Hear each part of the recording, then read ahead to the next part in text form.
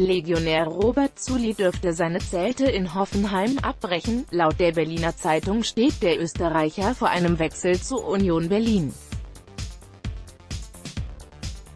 In der Hauptstadt würde Zuli auf die beiden Landsmänner Christopher Trimmel und Christoph Scheswenter treffen. Mit Markus Hofmann, Co-Trainer, und Michael Gespörning, Torwarttrainer agieren zudem zwei weitere Österreicher bei Union Berlin. Schon am Tag zuvor verbreitete sich die Meldung, dass die TSG Hoffenheim den 26-Jährigen vom Training freistellt, um einen Transfer voranzutreiben. Nun soll Zuli in Berlin bereits seinen Medizincheck absolviert haben.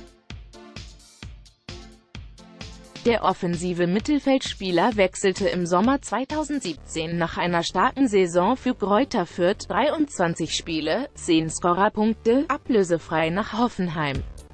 Unter Trainer Julian Nagelsmann absolvierte Zuli aber lediglich sechs Partien. Werbung Werbung